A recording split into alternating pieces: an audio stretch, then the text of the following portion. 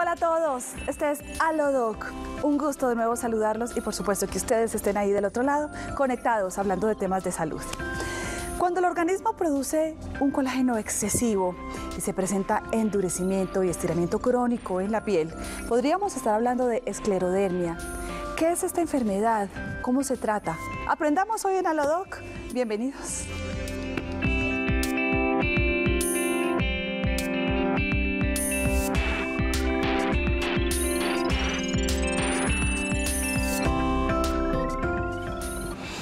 Esclerodermia es el tema que elegimos hoy a propósito de la conmemoración mundial de esta enfermedad por estos días que digamos cada vez es más frecuente o por lo menos se evidencia más en las mujeres sobre todo a determinada edad entre los 30 y los 50 años y que presentan múltiples características que van más allá del endurecimiento de la piel. Para conocer más acerca de esta enfermedad estamos con una especialista, ella es la doctora Natalie Rincón, reumatóloga. Un gusto tenerla de nuevo con nosotros, doctora, adelante. Buenos días. Bienvenida. ¿Cómo está? Excelente. Si usted está más cómoda y, lo desea, puede retirarse el tapabocas, doctora. Bueno, estábamos hablando entonces de que la esclerodermia mm, se manifiesta inicialmente por ese endurecimiento de la piel, ¿cierto? Pero esto va más allá de solo ese síntoma. Comencemos explicándole a los televidentes de una manera sencilla qué es la esclerodermia. Sí, pues es, es muy difícil a veces explicar esta enfermedad porque con la terminología eh, a veces escuchamos otro tipo de enfermedades, ¿cierto? La esclerosis o la esclerodermia empieza, empieza mm, pues eh, empezamos a, ver que los términos son muy complejos para explicar eh, esto que es tan raro. Em, la enfermedad pues se caracteriza eh, por una, un engrosamiento en la piel, un engrosamiento, acartonamiento y no solamente es la piel el órgano afectado, que es lo que generalmente asociamos a la enfermedad. Esta, este, este engrosamiento se puede, puede comprometer otros órganos hay otros órganos pues internos, pulmón, vía digestiva, corazón, que también tienen estas, este cambio en la enfermedad. ¿Se conoce el origen? Porque entonces hablamos de que todos estos síntomas son a raíz de esa producción excesiva de colágeno que empieza a tener el organismo. ¿Esto ocurre por alguna razón? Entonces eso es lo que ha hecho más difícil muchas de nuestras enfermedades, porque no hay una causa, es desconocida la causa y hay tantos factores que empiezan pues a influir en la, en la aparición de la enfermedad. Eh, siempre en nuestras enfermedades autoinmunes hablamos que hay una carga genética, entonces hay unos genes que se han descrito, sin embargo no son enfermedades como algunas que sí las catalogamos como eh, genéticas, que eh, hay, hay genes que se han asociado a la enfermedad, pero no, no como tal que cause la enfermedad, solamente asociación. De ahí parte pues unas respuestas en nuestro sistema de defensa en dos tipos eh, de respuesta y de ahí una producción de sustancias que van a estimular células en nuestro cuerpo para producir mucho excesivo colágeno, que es lo que conocemos, y también no solamente eso, también hay un daño en los vasos, hablamos de un daño microvascular y estas tres alteraciones es lo que lleva pues a la, a la enfermedad. Por eso solamente em, explicarlo como fibrosis o solamente explicarlo como una causa asociada, no, y por eso la dificultad del tratamiento de esta enfermedad. Bueno, yo le invito a que miremos algunos de esos síntomas que se manifiestan, que son característicos de la esclerodermia. Vamos a mirar.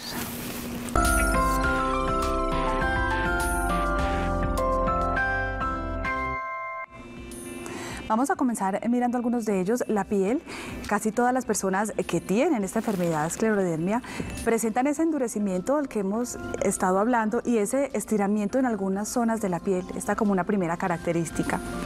También los dedos de las manos o de los pies, eh, digamos que uno de esos eh, pequeños vasos sanguíneos de los dedos, también de estas dos extremidades, se, se contraen en respuesta a la temperatura fría o al estrés emocional, también puede ser otra de esas manifestaciones. El aparato digestivo también está relacionado como uno de esos síntomas. Dicen que si el esófago está afectado, se podría tener acidez estomacal o dificultad para tragar. Y si los intestinos están afectados, podrían tener calambres, hinchazón, diarrea o estreñimiento también. Corazón, pulmones o riñones. La esclerodermia puede incluso afectar las funciones de estos órganos en diferentes grados.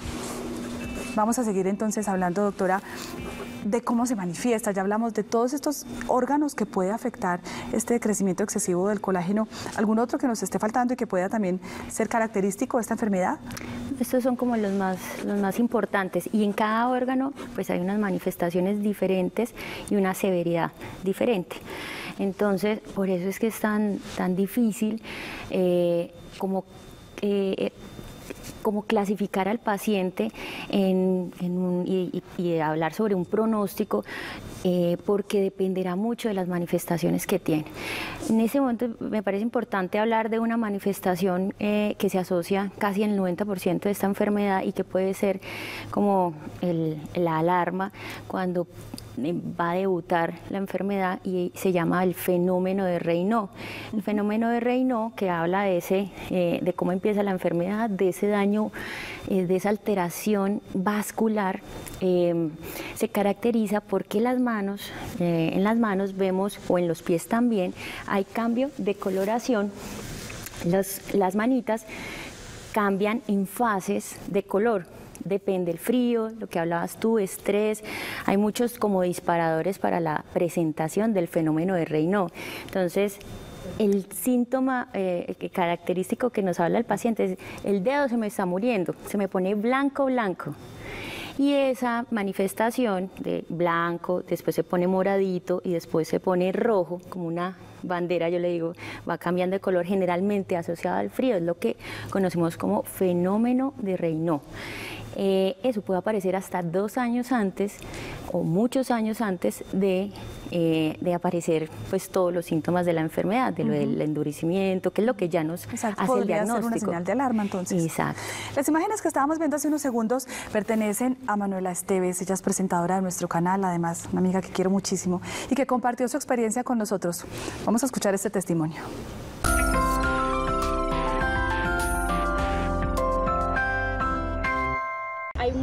Poca información de esta, pero lo que uno encuentra en internet es muy alarmante, angustiante. Inició con un tratamiento de muchas pastillas, entre ellas colchicina, metrotexate. Eh, al mes y medio, el reumatólogo, el médico tratante de esta enfermedad, se da cuenta que no está funcionando muy bien, me pasan a quimioterapia eh, cada 20 días. Esta no me tumbó ni el pelo, ni las uñas, ni las pestañas.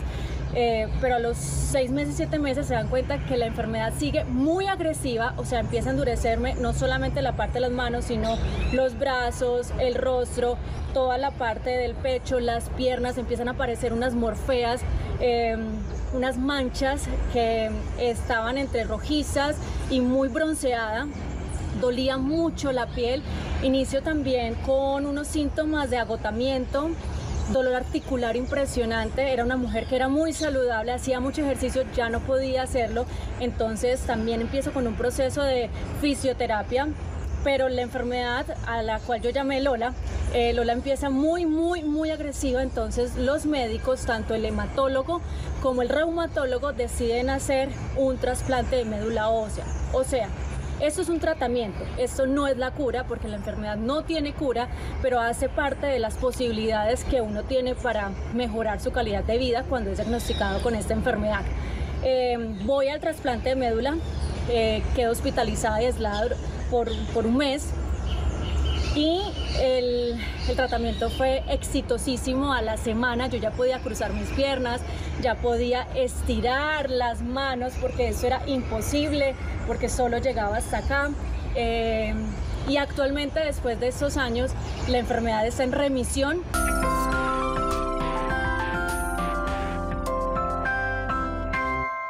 Qué alegría hoy ver ese cambio en Manuela. Ella compartió todo ese momento pues con nosotros y la acompañamos muchísimo y vimos todo su proceso. Pero entonces, varios puntos. Mm, ella habla de que es algo desconocido, de que hay poca información, de que, se, de que es algo relativamente nuevo. Mm, ¿Es así? ¿Es así? Es decir, ¿es algo que ahorita los expertos están descubriendo? Mm, pues nuevo no es. Si realmente son enfermedades, ya llevan varios años. Lo que pasa es que en nuestras enfermedades, en, en las últimas décadas, pues hemos visto visto que hay más tecnología, la ciencia ha avanzado y poder identificar de pronto esos blancos que contribuyen a la, a la enfermedad hace más fácil el diagnóstico, entender la enfermedad. Nosotros como médicos somos los que hemos entendido la enfermedad y pues en los últimos años hacemos diagnóstico pues eh, más pronto y más frecuente. Lo otro es que sí hay un cierto aporte con respecto a, la, a los cambios que sufre nuestra población, al estímulo pues de, de esta sociedad industrializada. Esta enfermedad, por ejemplo, es más prevalente en, Norteamérica, en, Europa, en, raza, en otro tipo de razas. Entonces, nosotros acá realmente vemos una muy baja prevalencia, que es rara la enfermedad, la enfermedad porque uno, es muy difícil pues diagnosticarla temprano y dos, a veces no se reconoce ni siquiera la enfermedad por lo rara que es. Si hablamos de prevalencia, eh, con respecto a estas otras enfermedades, si hablamos que puede aparecer entre 200 a 400 habitantes en un millón, entonces sí es bastante rara, pero pues hay poblaciones, lo que te decía en Europa, que son más frecuentes. Bueno, también ella habló de un punto y fue de su tratamiento específico. Mm, en una primera instancia no funcionó, digamos que algo convencional, ya usted nos dirá pues de qué se trataba, pero sobre todo el del trasplante de médula sí funcionó. Hoy en día es ese el que se está utilizando por lo menos en casos crónicos como el de Manuela. Entonces, la dificultad de esta enfermedad es que no siempre son las mismas manifestaciones. Hay pacientes como Manuela que tuvieron una manifestación eh, principalmente en la piel rápida y agresiva, en donde nos toca hacer tratamientos más agresivos, como el trasplante eh, de células madres. Hay otro tipo de pacientes eh, que no es tan rápido, no es tan agresivo o que ya tienen compromiso en órganos como pulmón, como corazón, el tratamiento es completamente diferente. Entonces, como muchas de nuestras enfermedades, se debe individualizar. El, eh, y, la, y el problema principal es que la mayoría de nuestras terapias tienen también sus efectos secundarios, lo que hablaba Manuela. El, por ejemplo, de las cosas que más eh, tememos en, el trasplante es los efectos secundarios, eh, el riesgo de infecciones, tiene también pues una alta mortalidad, entonces no es fácil elegir el paciente que va a ese trasplante, siempre toca riesgo-beneficio, pero por ejemplo el caso de Manuela, que fue pues un compromiso agresivo, rápido, pues ya hay como unos parámetros para poder eh, ofrecer ese tipo, de, eh, ese tipo de terapia a esos pacientes. Perfecto, doctora. Yo le invito a que hagamos una pausa breve en Alodo, que estamos hablando hoy de esclerodermia. Ya regresamos para seguir aprendiendo más sobre esta enfermedad.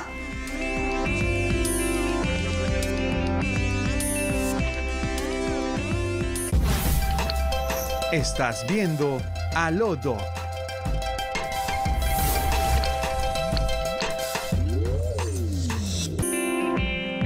aprendiendo hoy sobre esclerodermia en Alodoc, esta enfermedad que va más allá del endurecimiento en la piel. Ya hablamos de cómo afecta también muchos de los órganos del cuerpo, de lo rara que es, de lo escasa, de digamos que de los pocos avances que se han tenido en esta materia, pero sin embargo los especialistas y los doctores y los médicos y todos los encargados de esta rama pues eh, están tratando con ella y están tratando de aprender cada vez más y, darle calidad de vida a estos pacientes.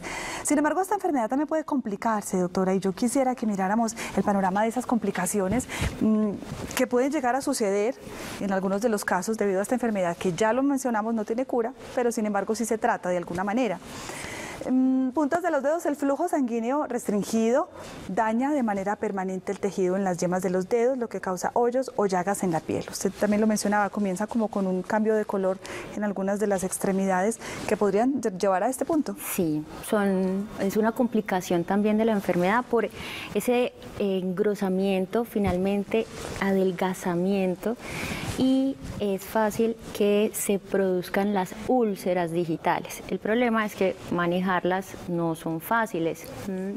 Doctora, los pulmones también. Mm, el proceso de cicatrización del, tejido pulmonar puede provocar una reducción entonces de la función pulmonar, puede afectar la capacidad para respirar y la tolerancia al ejercicio. Sí, y el pulmón es el que nos marca en esta enfermedad el pronóstico de la enfermedad. Eh, hay dos compromisos muy importantes, la enfermedad intersticial, que es la inflamación del pulmón, y finalmente esa inflamación lleva a cicatrizar y es lo que vemos pues ya en las fases tardías o muy agresivas, que se llama fibrosis pulmonar. Y en el corazón, pues realmente en la vasculatura, la hipertensión pulmonar. Son las dos los dos, eh, eh, las dos enfermedades que marcan el pronóstico de la enfermedad. Doctora, incluso los riñones también pueden llegar a complicarse. Mm, se puede desarrollar una presión arterial y el incremento entonces del nivel de proteína en la orina. Sí. Eh, es lo que conocemos como la crisis renal. Entonces es menos frecuente, pero los pacientes con esclerosis, con unas características especiales, un fenotipo que llamamos, puede hacer presiones muy altas eh, de, la tensión arterial y eso puede llevar al deterioro de la, del riñón. El corazón el órgano más importante o de los más importantes que tenemos en nuestro organismo, pues también puede verse afectado con ese proceso de cicatrización del tejido cardíaco, aumenta el riesgo de los latidos cardíacos anormales, insuficiencia cardíaca, puede causar inflamación del saco membranoso también que rodea este corazón. Es decir, también allí, hasta este punto podría llegar ese exceso de colágeno y hacerle como un recubrimiento todo puede tener cambios. En el corazón vemos desde la inflamación de la envoltura, que es la, el pericardio, engrosamiento del pericardio, el engrosamiento del, músculo, que es el miocardio, y no solamente estructural, también pues la vía de, las vías de conducción que llevan a otras manifestaciones como las arritmias. Muy bien, los dientes incluso, no, no, no imaginamos que esto puede suceder, pero sí se pueden ver afectados por el estiramiento severo de la piel en el rostro, que puede eh, hacer que la boca se vuelva más pequeña y estrecha, lo que puede dificultar el cepillado de los dientes, incluso una limpieza profesional. Sí, entonces es otro signo que tenemos que estar muy pendientes, el cómo cambia la carita. Entonces, ese estiramiento hace que se afinen, las facciones se afinan y la boca empieza a perder la apertura, tanto que nosotros en el diagnóstico medimos. Entonces, son boquitas que no se pueden abrir mucho, claro, para limpieza, para los procedimientos odontológicos. Entonces, eh, no solo eso es eh, eh, con respecto a lo, de, la pérdida de los dientes también. También puede presentarse en el aparato digestivo acidez estomacal, dificultad para deglutir también. Incluso pueden causarse calambres, hinchazón, estreñimiento, diarrea. Sí, otro sistema involucrado, el, esófago es lo que más mencionamos, se vuelve duro, igual como los otros órganos, y la motilidad, la digestión se dificulta y los pacientes hacen episodios de como atrancamiento cuando se atoran. Y finalmente tenemos eh, como una de las complicaciones por la esclerodermia es la función sexual. Mm, los hombres pueden presentar disfunción eréctil y en las mujeres pues disminuye la lubricación. Eso también podría afectar, digamos, esa relación de pareja y esa vida sexual. Claro. Mm, solamente, o digamos, es más usual esta enfermedad en las mujeres que en los hombres? Como muchas de nuestras enfermedades autoinmunes, sí, es más frecuente en las mujeres. Se habla más o menos que de 4 a 7 es el rango por, de mujeres, un hombre. Entonces, hasta siete mujeres pueden tener la enfermedad, un hombre. Es menos, frecuente en los hombres. ¿Y alguna edad específica? Eh, pues leyendo un poco, mencionaban que entre los 30 y los 50 años es el momento como en que puede, digamos, dispararse o desencadenarse esta enfermedad. Pero como usted ya lo mencionó, pueden comenzar síntomas desde muy temprano. Sí, generalmente empiezan ah, unos años antes eh, y las manifestaciones hasta dos años antes. Eh, pero el pico realmente, el que pues muestran muchos estudios, es entre 50 y 60 años. 50 es como el, más frecuente. Es muy raro encontrarlo menos eh, en, mujeres menos de 25 años, eh, pero también hay casos en niños de esclerosis sistémica. También. Es más frecuente en los niños o una variedad que se llama morfea, que son las plaquitas ya localizadas. Lo mismo endurecimiento, pero localizado. Ese es más en los niños, pero también hay casos de esclerosis sistémica en los, en los niños. Bueno, doctora, tenemos inquietudes de nuestros televidentes que nos envían a Lodoc y vamos a contestarles. Esta es la consulta.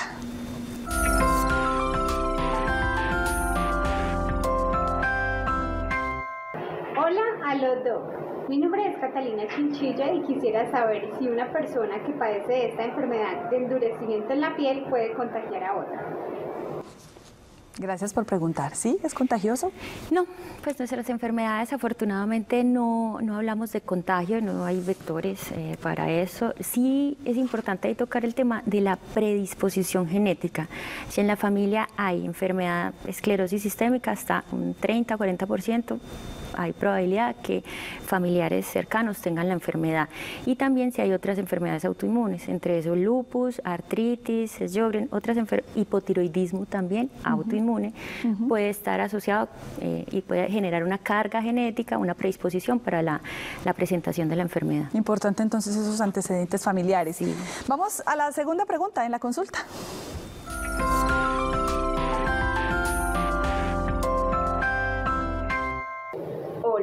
Aló Do. Mi nombre es Jessica Álvarez. Quisiera saber cómo afecta la digestión a la persona que padece esta enfermedad. ¿Cómo se afecta, doctora? Ya lo explicamos un poco, mm, este sistema digestivo que también se ve alterado, pero básicamente íbamos a contestarle de manera muy concreta cómo. Eh, y es muy importante. Lo que pasa es que las manifestaciones a veces no, no ponemos tanta atención a la parte digestiva, pueden empezar solamente entre 10, 20% de las manifestaciones al inicio de la enfermedad, pero casi el 70% de los pacientes con esclerosis sistémica tienen manifestaciones, el reflujo, el dolor abdominal, diarrea, estreñimiento. Ya hay otras complicaciones más severas, por ejemplo en el estómago se puede generar unos cambios en la vasculatura que pueden llevar hasta sangrados, ya pueden haber muchas complicaciones. Lo más frecuente es el reflujo y la dismotilidad, los problemas para pasar la comida. Entonces, eh, muchas veces nos apoyamos del equipo de gastroenterología, eh, pero son pacientes que requieren atención en ese punto. Eh, utilizamos medicamentos para mejorar la contracción del esófago para que ellos puedan pasar y evitar esos síntomas. Esa era mi pregunta siguiente, doctora, y es que esta enfermedad debe ser tratada por un grupo de especialistas, no solamente con un reumatólogo. ¿Quiénes lo están conformando? Eh, pues para darle una completa atención al, paciente? Depende de la manifestación. Entonces, como las la enfermedad principalmente molesta más el pulmón o es como lo que más marca la severidad, eh, el neumólogo hace parte de nuestro equipo de trabajo. Entonces hay clínicas especializadas en o la manifestación de la enfermedad intersticial, y nos apoya mucho el neumólogo, y también el cardiólogo en, caso de hipertensión pulmonar, o el mismo neumólogo también maneja la hipertensión pulmonar. Y eh, para gastroenterología, para las manifestaciones, el gastroenterólogo, el hematólogo en el caso que vayamos a hacer el trasplante. Entonces, sí es un equipo, el dermatólogo nos ayuda mucho, hasta la parte de rehabilitación, por ejemplo, cuando empiezan a hacer las, eh, las contracciones eh, por, el, por el, endurecimiento, requieren terapia para evitar ese tipo de retracción que genera el paciente. Por supuesto. Entonces es sí, multidisciplinario el manejo. Bueno, doctora, y finalmente, mm, ¿el tratamiento es efectivo? Es decir, las personas que de pronto nos están viendo, que se sienten identificadas o que están padeciendo esta enfermedad, ¿les podemos dar un par de tranquilidad con respecto a esta enfermedad? Pues como muchas de nuestras enfermedades, el la respuesta a los medicamentos dependerá de muchas variables. El inicio, eh, si fue agresivo o no, si se hizo temprano el diagnóstico, porque si ya hay muchos cambios, la enfermedad lleva muchos años, probablemente ya los medicamentos no nos funcionan tan bien y depende de los órganos que pues vaya a molestar. Entonces, eh, si es más el compromiso en el pulmón y el tipo de inflamación que genera, pues el tratamiento puede que sí mejore, puede que no. Lo que pasa es que mm, en los últimos años sí se vienen estudiando muchos más medicamentos que nosotros hemos perdido mucho la esperanza con esta enfermedad, pero eh, han salido cada vez más blancos, entendemos más la enfermedad y son los medicamentos que se vienen en unos años, que eso es lo que nos, como, nos abre como la puerta a, pues a tener una mejor expectativa de tratamiento y de vida para nuestros pacientes, ofrecerles algo más. Pero es un camino largo. Bueno, doctora, gracias por acompañarnos. Usted lo dijo, es un camino largo. Esta expectativa debe crecer y que las investigaciones sigan y que cada vez se conozca más, pero también el paciente debe poner mucho de su parte. Entonces, el mensaje es estar alerta a todos estos síntomas que puedan presentarse, a consultar a tiempo, que podemos prevenir esos daños o por lo menos evitar que lleguen a ser crónicos con esta enfermedad, de la cual aún se desconoce mucho, esclerodermia. Así que gracias por acompañarnos. Escríbanos a lodoc.telemedellín.tv qué tema le gustaría que tratáramos. Nos vemos en una próxima oportunidad.